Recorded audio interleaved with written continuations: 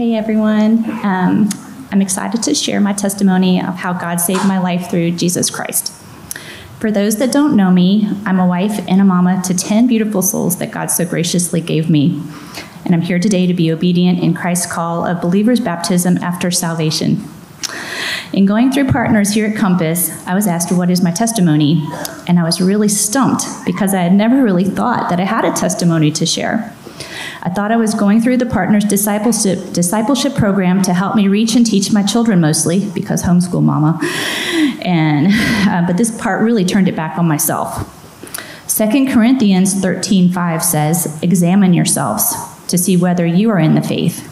Test yourselves or do you not realize this about yourselves that Jesus Christ is in you, unless indeed you fail to meet the test?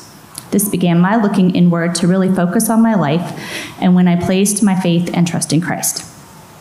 My family growing up was in and out of church and made several big moves, making it difficult to settle into a church home.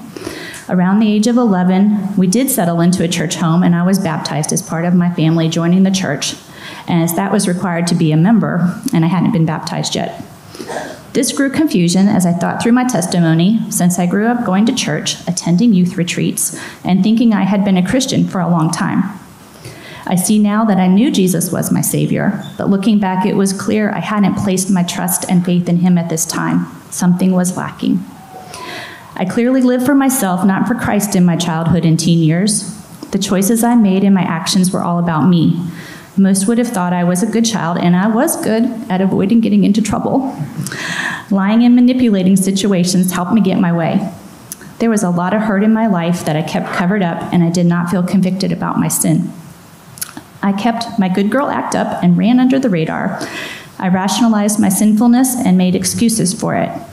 Psalm 14:3 and Romans 3:12 say, "There is none who does good, not even one." As I examined my early adulthood, I also found I was relying on myself and there were no real fruits of the Spirit. It was me trying to do the right thing instead of relying on Christ. I wanted to go to church and teach my children about Jesus, but I'm ashamed to say that my devotional and self help books got more use than my Bible.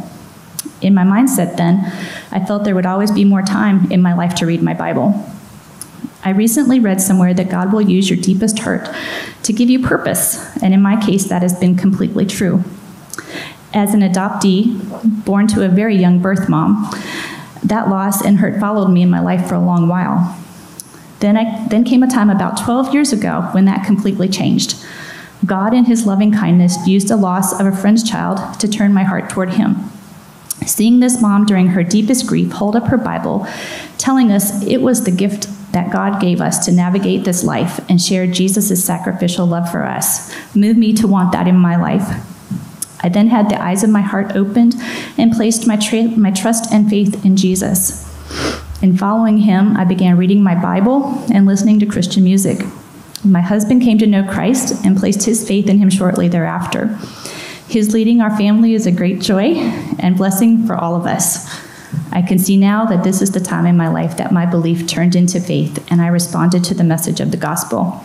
In his rich mercy and grace, he saved me. He gave me a love of his word, and I began to read my Bible cover to cover for the very first time.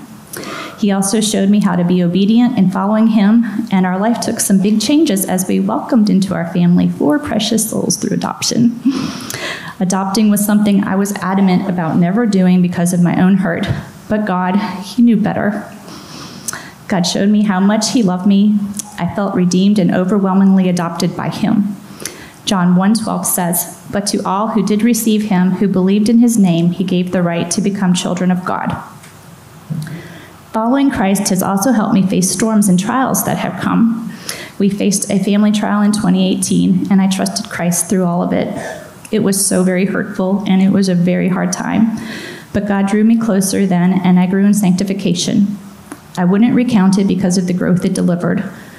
I realized then how much value I put into what others thought of me, and it was then I saw myself just as sinful as the people who came against us and counted myself as the worst as Paul says in 1 Timothy 1:15.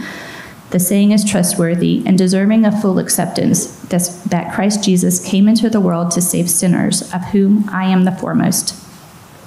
Through Christ, it became easier to forgive since I was forgiven. Since coming to Compass, I've been so encouraged by the expository teaching of God's Word. It has helped me have a clear understanding of God's Word and the gospel message to be able to share it with others.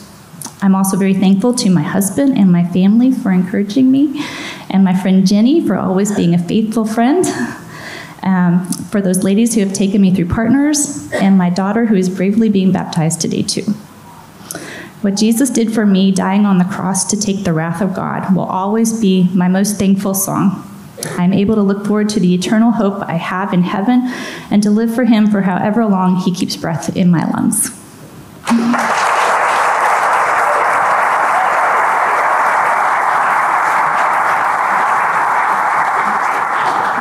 you know, you went through partners to uh, to teach your children, mm-hmm.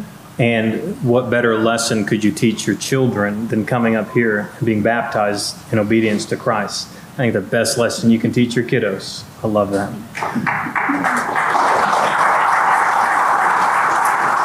Well, it is upon your profession of faith that I baptize you, my sister, in the name of the Father, the Son, and the Holy Spirit.